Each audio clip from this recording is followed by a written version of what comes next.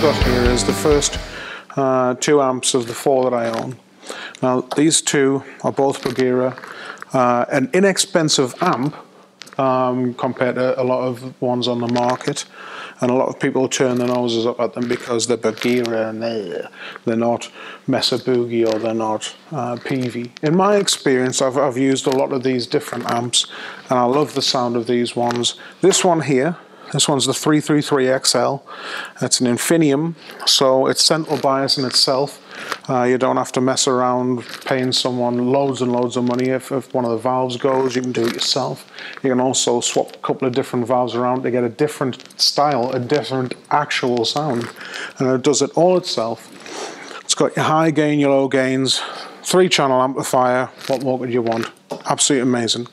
Underneath, uh, this one's the Tri-Rec, It puts out 100 watts. Again, it's got the Infinium technology, so central bias and all that sort of thing.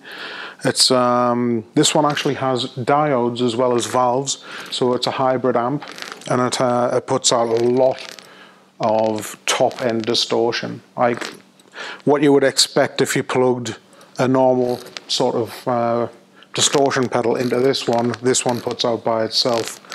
And that's the two Bugeras. They are stand-up amps, and I can't recommend them enough for people who like valve amps. Right, on this side, we have the Marshall Mode 4, um, 300 watt uh, hybrid amp. It only has one valve in. It's a micro valve that's on the power um, power circuit. Now this puts out a lot, and it sounds absolutely amazing. Four channel amp. Um, I, as you can see here, I've got the cabs that match it. Um, a lot of people again turned their noses up at this amp because it wasn't a valve amp. Um, it's a it's a transistor one. It's absolutely amazing.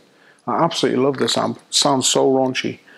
Uh, above that, this is the one that I'm actually using a lot at the moment. Now this one, this one's the one that was on the pedal board, and it's that small. I can put, take it away with me with the band, with the band, put it in the flight case, uh, and I'm away. It has a nano valve right here, so it actually has the tones of a valve amp, um, as you heard before. Uh, absolutely incredible. It's got your full um, 16 ohms and 8 ohms out. You can plug it straight to a MIDI pedal uh, as a remote control. It's got a recording out, so if you're playing a gig uh, and they want it straight to the desk, they've got a line out here. It's got the full um, effects loop. It's everything that you want, and it's only this big, and it doesn't kill your back carrying it like it does with these ones. Uh, I think it weighs about something like half a kilogram or something stupid like that.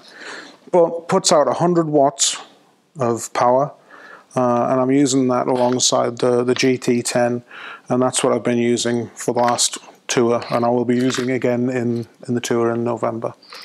Uh, absolutely amazing. Check them out. Thomas Blug's done an awesome job with this.